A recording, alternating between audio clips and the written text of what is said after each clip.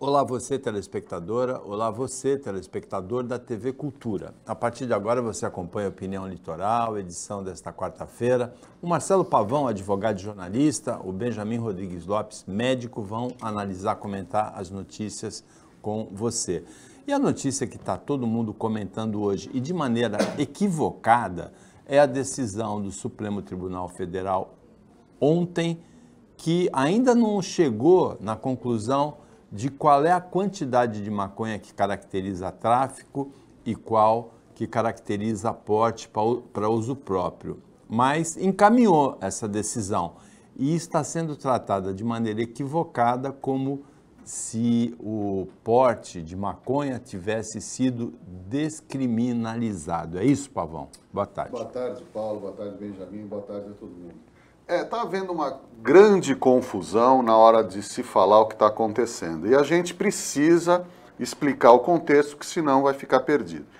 Existe uma lei específica de tóxicos que foi promulgada da década de 80, da década de 80 que estabelece, inclusive é o que todo mundo fala, que conhece, é o artigo 12 e o artigo 16, é o porte ou o tráfico. Bom, o que, que acontece? A lei nunca especificou a quantidade de maconha ou de droga que estabelece ser usuário ou traficante. O que, que acontece? Isso desde a década de 80. Até hoje, quem decide se é tráfico ou apenas usuário é a autoridade policial. E na prática, o que, que está acontecendo historicamente no Brasil? Se, você, se a pessoa que é apreendida com um cigarro de maconha, pode estar aceso, apagado, seja lá o que for, ela não vai deixar, de acordo com o entendimento, de ser responsabilizada pelo porte da droga, só que não irá para a cadeia. Hoje, a autoridade policial olha para a pessoa e fala: é tráfico, enquadra como tráfico, mesmo sendo um cigarro de maconha. O que, que acontece isso? Comprovadamente, pelo menos 25 mil pessoas estão presas por terem sido é, é, surpreendidas com, às vezes, um cigarro de maconha. Nessa estatística está dizendo que pretos, pobres e periféricos são a imensa maioria daqueles que são considerados traficantes. Com a mesma quantidade as pessoas que moram nos centros urbanos são brancas, têm condições socioeconômicas privilegiadas, estão sendo enquadrados historicamente como usuários. Ou seja, mesma quantidade, dois pesos e duas medidas. Não dá isso para continuar. O que, que o Supremo fez? Há nove anos discute essa, essa ação. Há nove anos está isso no Supremo Tribunal Federal para ser decidido. Há nove anos o Congresso não legisla sobre a ação. O que, que foi decidido ontem? Foi decidido que será determinada uma quantidade de droga para ser caracterizado como usuário ou como traficante. Mas isso não está liberando a droga para você ficar fumando na rua, para você ficar exibindo, para você ficar fazendo qualquer coisa. Ainda continua sendo um delito, só que de menor quantidade. E aí o que, que vai ser discutido agora? A dosimetria, que está entre 25 gramas e 60 gramas. É essa quantidade que vai ser decidida. Porém, a autoridade policial ela continua com a sua condição, seu poder de polícia, de averiguar, de levantar. A única coisa é que menos gente será jogada na, na cadeia e mais, gente, mais pessoas serão objeto dessa, dessa apuração. Então não foi liberado, não foi descriminalizado, não foi alterado nada. Simplesmente está se decidindo uma que uma coisa é uma coisa, outra coisa é outra coisa, e há mais de 30 anos, há quase 40 anos, isso não é regulamentado. Está na hora de regulamentar. E a justiça entrou em cena, Paulo, Benjamin, ela entrou em cena pela inoperância do Congresso. E mesmo essa decisão de ontem diz: assim que o Congresso legislar sobre o assunto, a questão será regulamentada. Então, por omissão legislativa, houve uma ação judiciária. Uma ação judiciária lenta. É, o que o Pavão começa colocando, e, e eu acho que o Pavão é irreparável no que fala, são nove anos que o Supremo quase que enrolou para dizer, olha, quem sabe os deputados, os senadores resolvem o problema. Não resolveram e agora eles decidem. Eu poderia começar com você, ouvinte, que nos vê de tarde, dando boa tarde ou boa noite para quem está na internet mais tarde, dizendo o seguinte: acho que o Supremo simplesmente resolveu passear entre o canal 1 e o canal 3 em Santos. Todos nós que somos da cidade, se você quer ver tráfico, o uso de maconha, vai no canal 1. Mas o branco, da zona privilegiada, ele está para uso próprio. É, a quantidade depende do local. Como é que é isso? Há um tempo atrás, um colega meu médico foi pego com alguns quilos de cocaína, ele falou que era para uso pessoal. Há pouco tempo atrás, um jornalista foi preso também com quilos de maconha e diz que é para uso pessoal. Se você for pobre, periférico, na zona noroeste e tiver com dois cigarros, enquadra. O que o Supremo faz é evitar que nosso Congresso prevaricador trabalhe. Vamos trabalhar, deputados. Deputado da bala, o deputado da Bíblia, o deputado da família. Faça a sua opinião, diga. Mas quando o seu filho for pego, não venha ser esquizofrênico e dizer, não, aquilo era para uso pessoal todos são iguais perante a lei. Mas alguns no Brasil são mais iguais.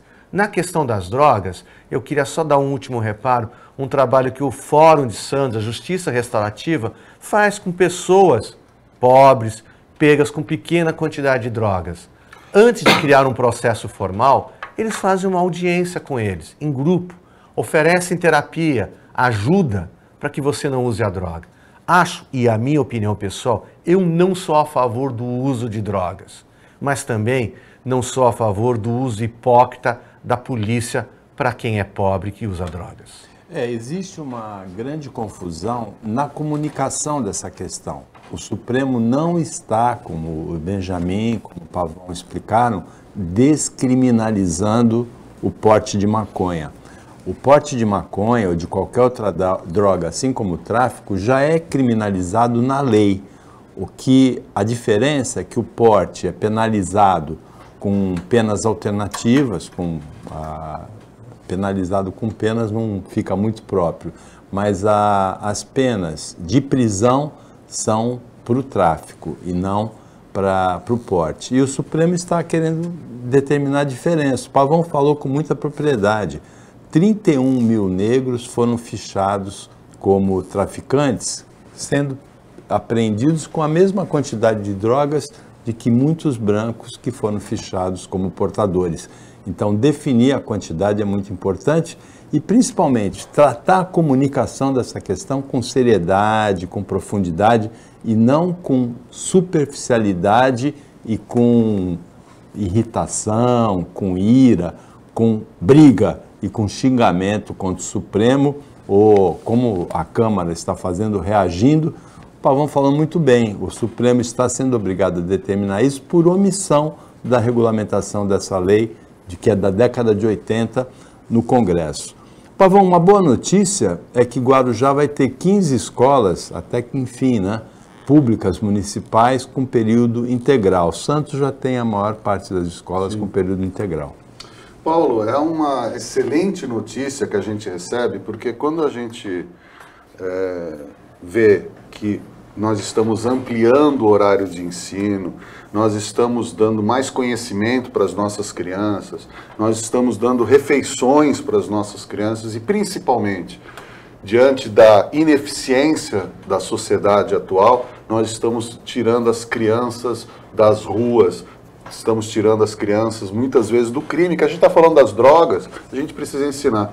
Então a gente aplaude entusiasticamente essa, essa, é, essa posição, essa atitude da Prefeitura do Guarujá. Espero que isso não seja apenas nessas 15, seja apenas as primeiras 15 e, e que vire uma política pública nacional de inclusão. E aproveito a oportunidade para falar, é, já passou da hora, mas não dá mais para a gente... Pra, os professores do ensino básico, fundamental, daquele ensino do início, eles precisam ser valorizados. Hoje, a categoria menos valorizada dos professores é aquela dos primeiros professores, que são justamente aqueles que começam a dar as noções de cidadania para as crianças. Então, vamos ampliar, mas também vamos valorizar, vamos treinar, vamos aprimorar o professor do ensino básico e fundamental também. Eu fiquei pensando de que maneira eu poderia brincar com esse assunto e me veio pelo menos duas possibilidades. Primeiro, assim, se for meu filho que estiver ouvindo a matéria e ver o Paulo Schiff dizendo que vai ter escola o dia inteiro, acho que ele não achou uma boa notícia.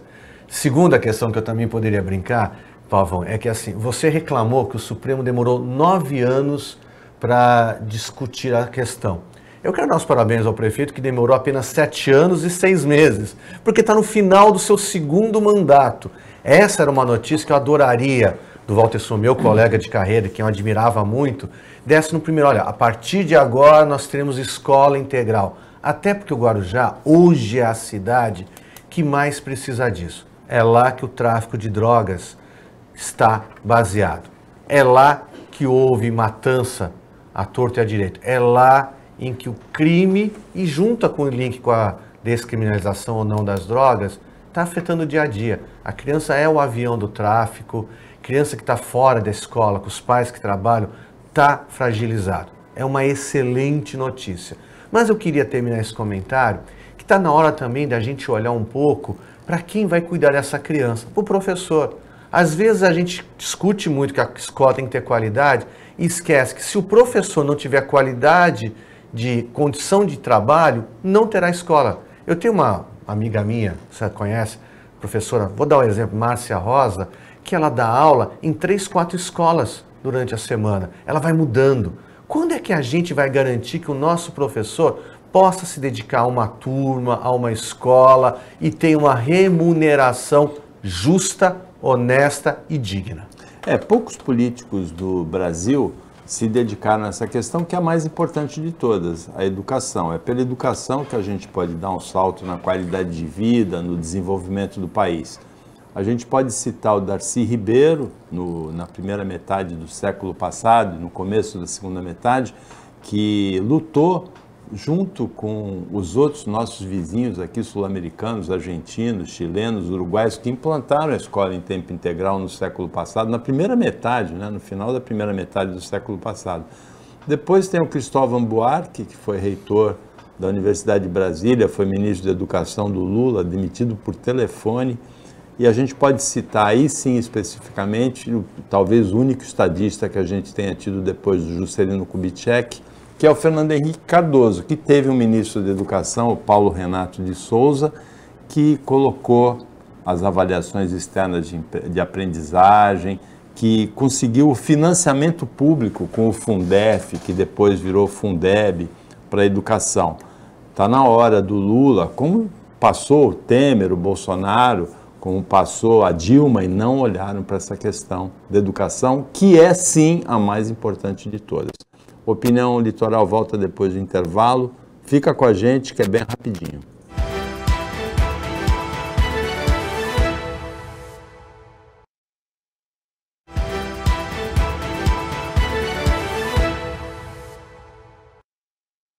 Voltando com a opinião litoral, nesta quarta-feira, o Benjamin Rodrigues Lopes, médico, Marcelo Pavão, advogado e jornalista, estão comentando as notícias com você. Benjamin, Existe um avanço da obesidade, do sobrepeso no Brasil e no mundo. Agora, um estudo mostrou dados assim muito preocupantes. Daqui a 20 anos, em 2044, 75% dos brasileiros vão estar com sobrepeso ou obesidade. Hoje eles são 46%. É um avanço muito significativo, né? É, eu não sei porque você olhou para mim para comentar esse assunto, eu na dúvida. É porque eu sou médico ou porque eu estou acima do peso? Porque é médico. Muito obrigado. Eu não sabia que você estava acima do peso. Você não está me olhando direito, então. é, a, a, gente comenta a questão da obesidade eu posso fazer um link com o que aconteceu no sul do país com as enchentes. A gente sabe que nós tivemos, estamos ainda no efeito do El Ninho, existem mudanças climáticas ocorrendo no globo inteiro que fizeram com que essas fossem as maiores enchentes dos últimos 50 anos. Também a gente sabe que o homem foi responsável direto no sul do país, primeiro porque não fez manutenção das comportas, porque impermeabilizou o solo, porque construiu casa na beira do rio onde não devia. O que isso tem a ver com a obesidade? Porque a obesidade também é um efeito de escolhas nossas. Nós hoje somos mais obesos por dois fatores clássicos. Primeiro, nós perdemos o hábito de comer bem. É, eu e Paulo, que somos mais velhos que o Pavão, muito mais velhos, é, a mãe da gente cozinhava, era comum a gente no final de semana estar reunido em torno da macarronada, da, do frango, cada cultura tinha o seu prato específico. E nós, nos últimos 30 anos, perdemos, prestem atenção, o hábito de cozinhar. Ou comemos na rua, ou comemos produtos preparados, industrializados, que são extremamente calóricos, pobres em proteínas e a gente tem visto isso, a epidemia começa nos Estados Unidos, com a, a gente chama da doença do McDonald's, fazendo alusão à grande rede de fast food, e chega aqui no Brasil também. Faça uma conta na sua casa. Quantos sanduíches você comeu esta semana? Quantas vezes você parou e fez a comida? Comida natural, comida que você compra na, no mesmo dia. Uma vez eu fui na Itália e eu reparei que não tinha supermercado. E o italiano me dizia o seguinte: olha, a gente compra a pasta, o macarrão na hora, escolhe a comida do dia, pega um pedaço de carne no açougue, prepara a comida. A par disso, nós passamos por um outro processo muito sério de tirar esforço físico. Nós não brincamos mais na rua, nossos filhos usam videogame, nós não vamos mais andando no Gonzaga, nós vamos de carro, de Uber, de ônibus, nós não, não nos levantamos nem para trocar o canal. Não faça isso. A gente usa o controle remoto. A gente nem vai ao telefone. O telefone está com o lado da gente. Nós paramos de exercitar. Isso na bancada não vale porque o Paulo é o oposto disso.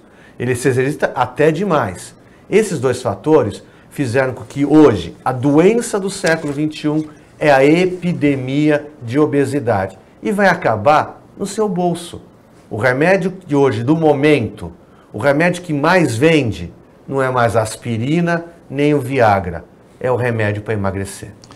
É, os dados assim mostram que hoje 34% dos adultos maiores de 18 anos brasileiros eles têm obesidade e em 2044 eles vão ser 48%. Então sobe de um em cada três para um em cada dois, mais ou menos.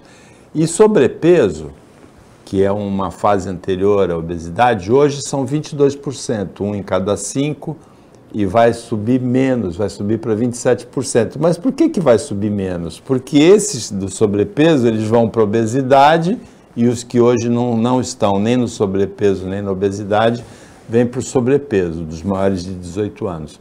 É uma escalada impressionante, porque a, o sobrepeso e a obesidade eles provocam, eles são fatores de risco para muitas doenças graves, acidente vascular encefálico, é, diabetes, diabetes tipo 2, doenças coronárias, né? são muitas, é, são muitas doenças que são a, o, o, o, risco aumenta muito com obesidade ou com sobrepeso. É, e eu faria duas observações aqui, apenas acrescentando, porque o laudo médico emitido agora pelo Dr. Benjamin é completo. Eu diria a parte emocional, a parte psicológica. E eu vou dar um ansiedade, né? Não só ansiedade, mas autoestima, Paulo. É, eu sou um rato de praia. Eu moro em frente à praia. Eu vivi na praia. Eu estou e aqui eu estou sendo modesto comigo mesmo, eu estou nos 22% do sobrepeso a caminho do, da obesidade. E por falta de coragem, eu não vou à praia. porque eu tô com vergonha do meu corpo. Mas da mesma vergonha do meu corpo de eu não querer me, me exibir na praia, eu não tenho a mesma falta de vergonha para fazer algo para tirar. Eu tô literalmente atolado no tipo, eu não faço, mas também não apareço. Então eu destaco a questão psicológica do sobrepeso. E eu faço um desafio que é o que está me ajudando a, a sair desse atoleiro. Pegue um tênis, um sapato e amarre o cadarço. Você vai ver que vai ter falta de ar, não vai conseguir pegar, e isso é um choque de realidade que está funcionando para mim. Toda vez que eu quero emagrecer, que eu quero cair na real, eu tento amarrar o cadarço. Quando eu não consigo, ou por falta de, de, de, mobilidade, ou tem que colocar o pé no alto, isso é um choque que está dando certo. Eu dou esse conselho, porque é infalível. É barato, vai amarrar um cadarço. Se não conseguir, faça alguma coisa, procure ajuda. Agora. Estou errado, doutor? Não, e desculpa, Paulo, se você me permitiu a parte, é, o Pavão foi maravilhoso nesse comentário, porque faltou o terceiro fator que é importante mesmo. É, a questão da autoestima é fundamental. Tem um fenômeno, aí eu vou entrar na tua seara na televisão, que é uma série chamada Quilos Mortais, que inclusive é tão é, premente que tem versão de vários países. Começou nos Estados Unidos, agora tem Quilos Mortais na Inglaterra, Quilos Mortais no Brasil. E a gente está falando de pessoas de obesidade extremamente mórbida, 280, 300 quilos. Me chamou muita atenção, Pavão, eu assisto sempre, todos sofreram violência sexual na infância. Todos, em algum momento, sofreram bullying em algum momento, porque estavam acima do peso, foram constrangidos, pararam de se exibir, começaram a engordar mais por medo de estar em público e entra na espiral do aumento do peso. Você foi perfeito, Pavão. Uma outra diretriz, assim, que, é, que uma, outra, uma outra abordagem dessa questão é o processo nos Estados Unidos, na Filadélfia, que os remédios, as empresas que produzem remédios de emagrecimento estão sofrendo. O Ozempic é o carro-chefe desses remédios. O consumo desse tipo de medicamento aumentou 40 vezes nos Estados Unidos entre 2018 e 2023. É referente à epidemia de sobrepeso e obesidade. E muitas ações na justiça de, de indenizações milionárias estão correndo, são muitas, realmente são milhares, por conta do esclarecimento não ter sido adequado a esse usuário, que é alguma coisa que você compara um pouco com o que aconteceu com o cigarro, né? com Exatamente. a indústria do tabaco. Né? Porque essas ações, a, a indústria indenizatória judicial americana, ela é muito antiga. Tanto que os processos, quase 80% dos processos, eles são extintos por composição entre as partes antes do processo começar. É um pouco diferente da nossa justiça. E aí a gente tem que lembrar das ações bilionárias dos produtores de cigarro, as principais Philip Morris, aquele monte de empresa. E aí eles ficaram décadas falando que o cigarro não era causador de câncer. Até aquele vaqueiro que fazia o comercial do Malboro, que fumava, morreu de câncer no pulmão. E aí o que, que acontece? Os, os jurídicos das empresas começaram a ver o seguinte, que estavam pagando indenizações milionárias exatamente porque não se reconhecia que fumar é, pro, é, resulta em câncer. E aí o que, que eles começaram? Eles assumiram que o cigarro faz mal, que pode ocasionar câncer, que pode dar enfisema, que pode dar uma série de doenças. O que está se avistando agora com essas ações judiciais contra esses remédios, principalmente o Ozempic, é que lá nos Estados Unidos virou uma epidemia. As pessoas estão assim. Eu preciso colocar. Isso é caso fático que outro dia foi noticiado. Uma determinada modelo queria entrar num vestido um X dias, daqui a X dias para um evento. E lá o pessoal está usando o Ozempic como se fosse um diurético, como se fosse a coisa. As pessoas estão morrendo de usar esses remédios. E aí o que, que está se avizinhando? As farmacêuticas, provavelmente num curto espaço de tempo, quando começarem as condenações, já em última instância, provavelmente vai assumir que esses remédios têm efeitos colaterais que podem causar morte, que podem causar problemas e vão fugir dessas indenizações. É, é uma indústria que o tabaco já disse o caminho. Então agora o Ozempic ele vai até onde pode. É a mesma coisa que está acontecendo com o TikTok, que querem proibir o TikTok. É a mesma legislação. Então é só dizer, o jogo do tigrinho faz mal, ele vai continuar. É, é uma mentalidade americana. E sem pagar indenização. E sem pagar indenização. Porque aí avisou, né? Exatamente. É, eu vejo alguns fumantes quando chegam no, na padaria, né, para escolher, ah, eu quero do câncer, eu quero da tuberculose. Da, do... da impotência eu não quero. eu quero. Não, alguns falam, eu quero esse da impotência é. sexual. Mas deixa eu só fazer um, um, É o alerta que aquele produto. Deixa eu só fazer produz... um agravante nesse alerta, porque assim, é, com o Ozempic e os seus derivados, é, o nome bonito é assim, eles são agonistas do peptídeo do glucagon. Isso quer dizer o seguinte, é uma substância, o glucagon que eu produzo normalmente, eu produzo insulina para mandar o açúcar para dentro da célula. E produzo glucagon para eu ter fome e ter mais açúcar para a insulina fazer. Esse equilíbrio entre insulina e glucagon que me mantém equilibrado. Eles descobriram que tinha uma substância, o peptídeo do glucagon, que se eu fizesse uma coisa muito parecida, eu desligava o glucagon. Então eu não tinha fome. Não tendo fome, o meu nível de açúcar não subia. Este remédio foi criado, foi desenhado, foi testado para tratamento da diabetes. Tudo bem, é isso. Só que percebeu-se que, como efeito colateral benigno, ele emagrecia. Então ele não é um remédio feito para emagrecimento. Ele é feito para tratamento da diabetes.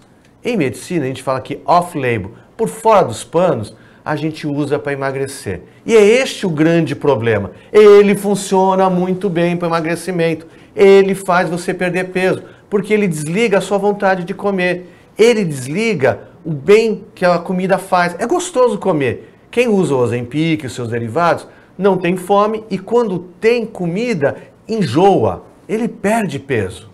Porém, quando ele para de tomar, volta a ter fome e volta a ter peso.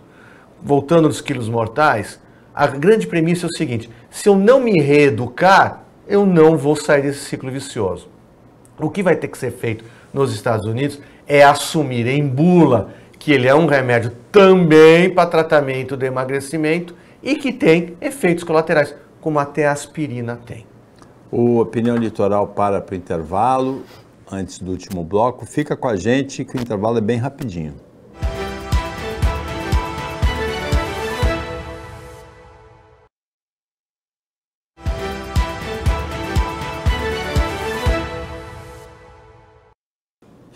Voltando com o Opinião Litoral desta quarta-feira, o Marcelo Pavão e o Benjamin Rodrigues Lopes estão comentando as notícias com você.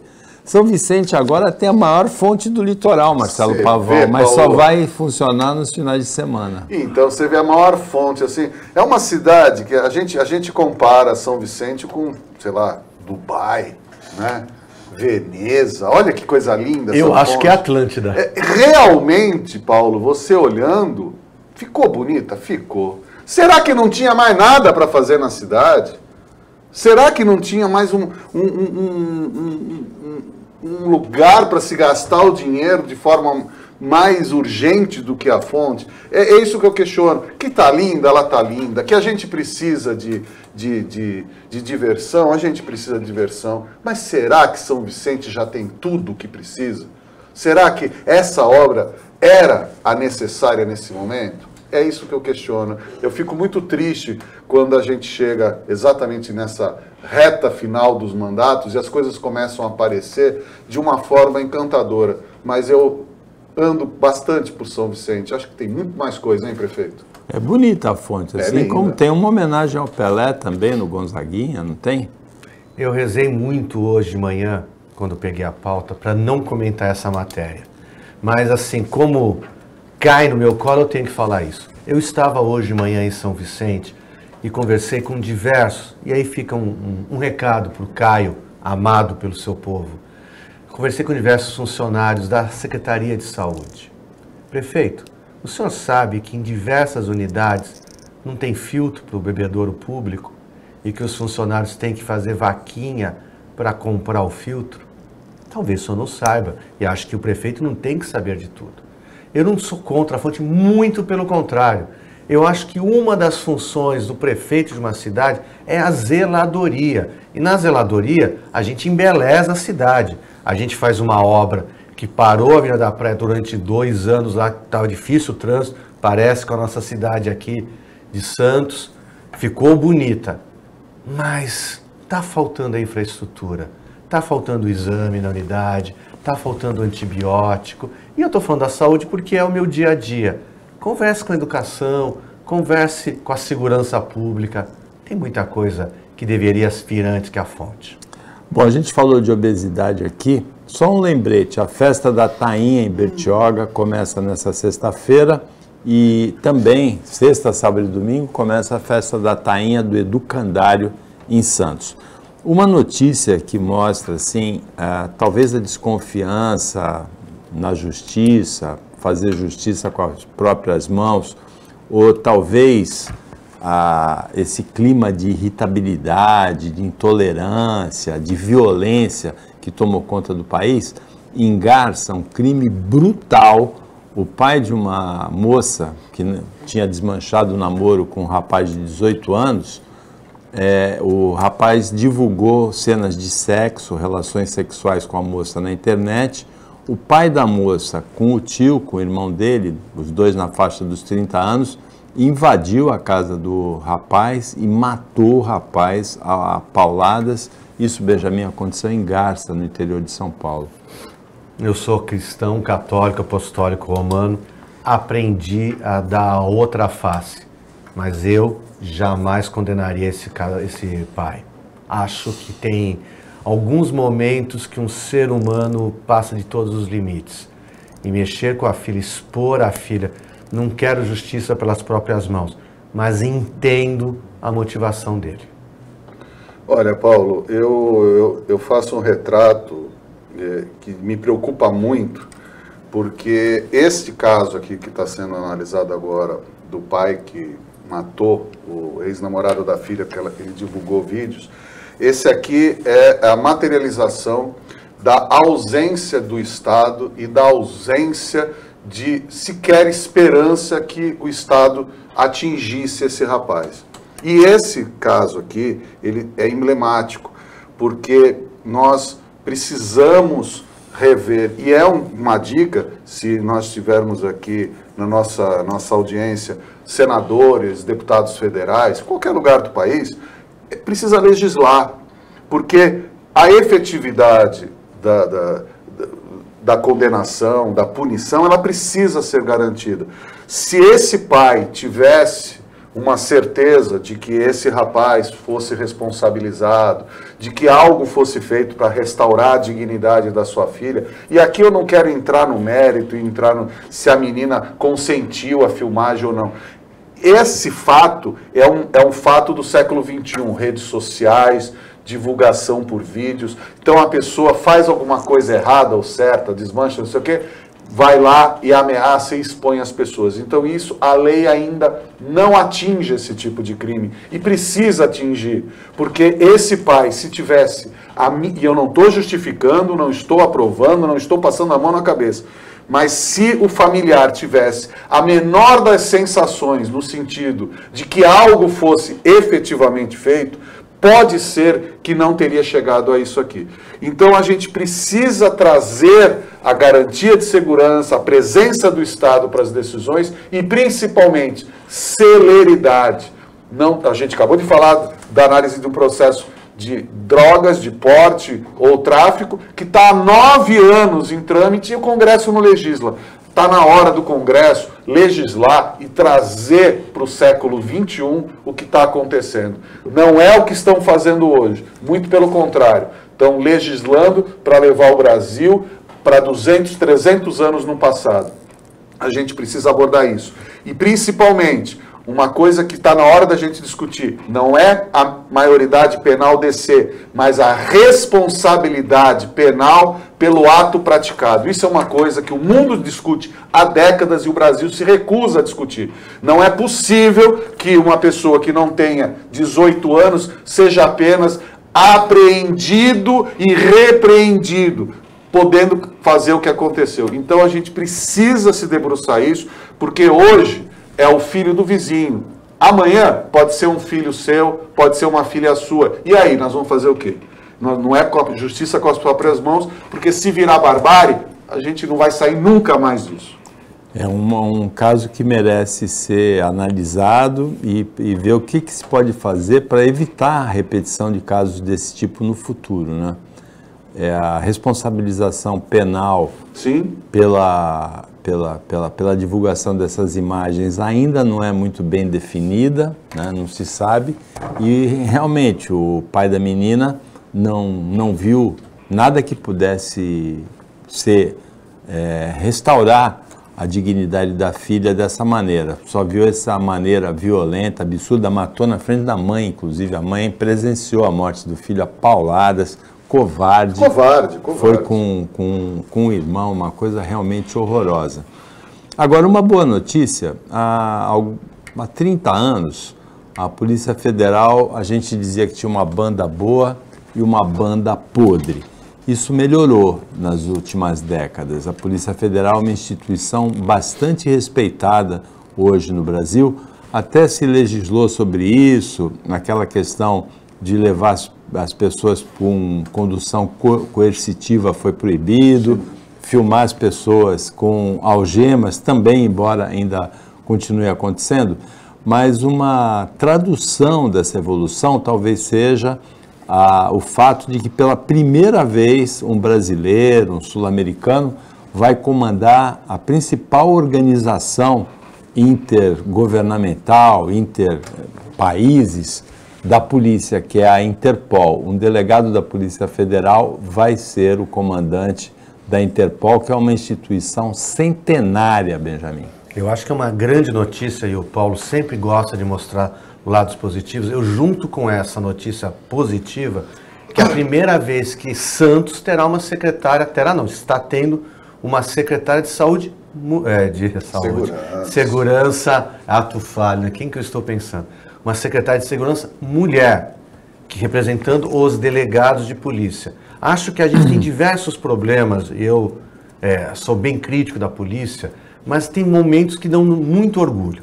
Acho que o Brasil, nos últimos anos, teve uma expertise, uma profissionalização da Polícia Federal. E olha que interessante, Polícia Federal que em alguns momentos os seus membros têm lado, têm partido, mas em nenhum momento a instituição tomou partido.